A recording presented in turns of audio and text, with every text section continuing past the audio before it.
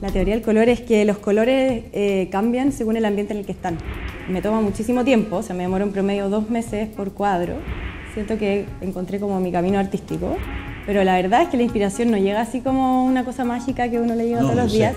Siento que hay como una adicción general a la pantalla y ya nadie se da cuenta de lo que está pasando a su alrededor.